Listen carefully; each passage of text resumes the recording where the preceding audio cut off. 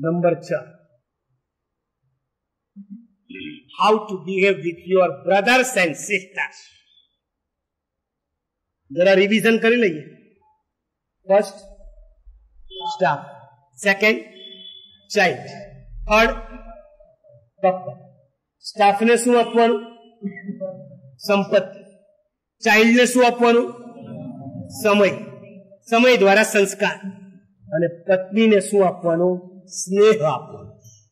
ભરપૂર સ્નેહ. તમારા ઘરમાં કોકની દીકરી આવ્યા પછી તમે એટલો સ્નેહ આપો, એટલો સ્નેહ આપો કે એનું ઘર તો ભૂલી જાય, એના ઘરનો મોબાઈલ નંબર પણ ભૂલી જાય. એના ઘરનો મોબાઈલ નંબર એને યાદ ના હોવો જ તો કે આજની બહેનોની આદત છે, રોજ સાંજ પડે એટલે ઘરે ફોન કરવા આખા દિવસની બધી વાત ખરેખર તમારા ઘર ભાંગવાના ધંધા કરી રહ્યા તમને તમારું ઘર કયું લાગે છે? તમારું પિયર તમારું ઘર કે તમારું સાસુ તમારું ઘર? સાસરે આવ્યા પછી તમારા માટે તમારું પિયર મરી ગયું, સમજજો.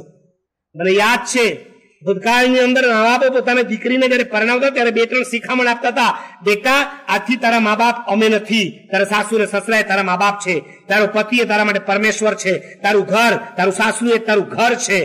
અને શું કહેતા હતા ખબર છે? ઘરમાં કોઈ કહે તો તું સાંભળી લેજે પણ સામે આ તો મા બાપ છીએ અમે બેઠા છીએ ને તને કઈ થાય તો ચિંતા ન કરતી રજોની પાછી આવે કે ન આવે? એ ઘરમાં કહી દે કે તમે ન હાચવું તો કઈ નહીં. મારા ઘરમાં મારા મા બાપ બેઠા છે. મરી નથી ગયા તમે મને આટલું સંભળાવો સહન શક્તિ સહન કરો. તમારા સંતાનો ખાતર પણ તમે સહન કરો. તમારે સ્નેહ આપવાનો છે. ભરપૂર સ્નેહ આપવાનો.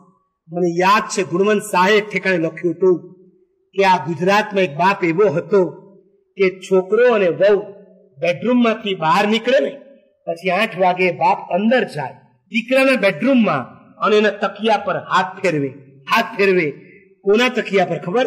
દીકરાની વાઈફના તકે, પોતાની વહુના તકિયા પર કે મારા ઘરે આવેલી પારકી દીકરી અહીંયા આવીને રાતના રડતી તો નથી ને જો રડે તો સમજવાનું એ મારા ઘરમાં સુખી નથી. તકિયો જો ભીનો ન હોય તકિયો જો ગરમ ન હોય તો સમજવાનું મારી ઘરે આવેલી વહુ સુખી કોણ કાળજી રાખે.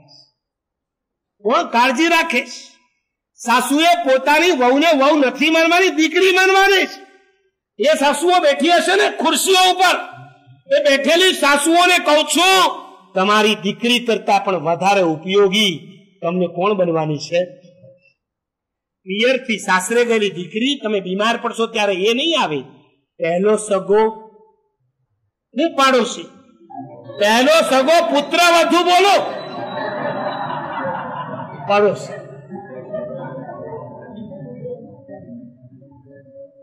દીકરાની વહુ કેમ ગઈ છે? તે પાડોશી? એ ન હોય ત્યારે પાડોશીને યાદ કરવાનો છે. અને આજે તો પાડોશીને તમારો અવાજ સંભળાતો નથી. એના ઘરના બારણા બંધ તમારા ઘરના બારણા બંધ કયો પાડોશી તમને કામ લાગ્યો? બોલો તો ખરા. શું કહ્યું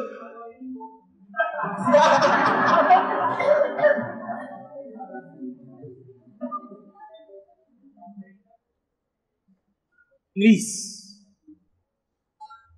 સ્નેહ આપો, ભરપૂર. અને તમે સ્નેહ આપશો તો એ આખા ઘરને એવું સાચવી લેશે જેની તમે કલ્પના નહીં કરો. અમે આણંદ ગયા હતા. આણંદ આવ્યું ને, વલ્લભ વિદ્યાનગરની બાજુમાં આણંદ. આણંદ ફેમસ છે. એ આણંદની અંદર એક બેને ચાલુ દિવસે આંબેલનું પચખણ નાખ્યું ચાલુ દિવસ. શેષ કાળમાં. અમે પૂછ્યું, બેન, હોળી ચાલે છે? ના, મારા સાહેબ. આજે તિથિ નથી ને તમારે આંબેલ?